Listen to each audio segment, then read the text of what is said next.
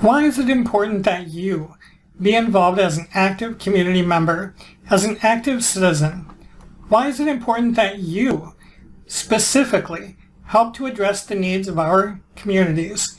Why is it important that you specifically help to make choices and take actions that support our common good?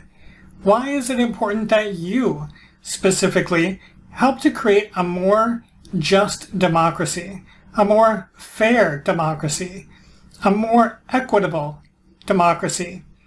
It's much more than someone should, so why not you?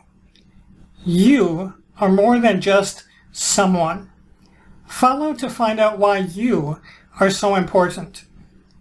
Please connect, inform, encourage, and empower. We need your help to improve our families and our communities.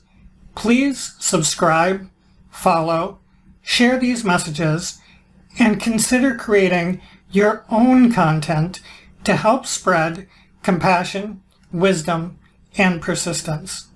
Thank you.